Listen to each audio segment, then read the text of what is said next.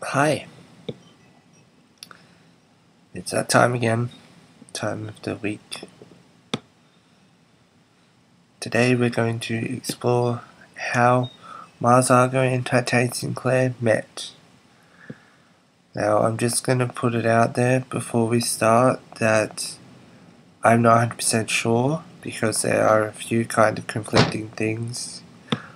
But before we start, I just want to play you this. You guys said that you actually met over like trying to make videos for music. Is that right?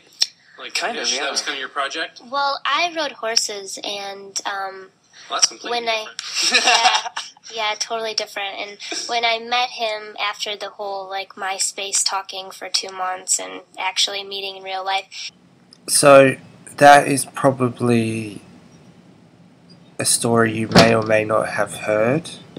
That is from a um, interview of theirs from early 2012 from Fearless Radio, which is apparently not meant to be online, but it is online. Uh, as far as I know, it is on YouTube. It goes for maybe uh, 40 minutes, I think and it's really interesting if you want to listen to it. I I I've downloaded it. Um, I've only listened to it I think once, but that was the main thing I got from that video.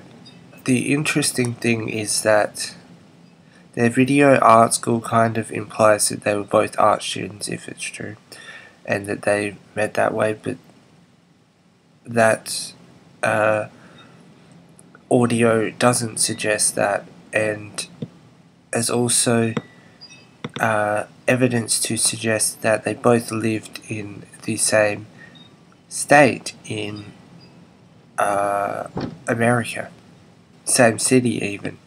So I'd imagine that if they both lived in the same city, that they uh, would have met beforehand. I I'm not hundred percent sure.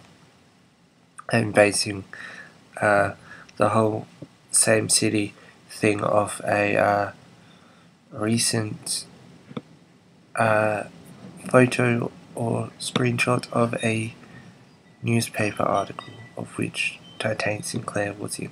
Uh, so yeah, it's just a nice little short video for today. If you have any more information of how you think they met, then just let me know and I'll be more than happy to talk to you about it. I'm always happy to have new information presented to me.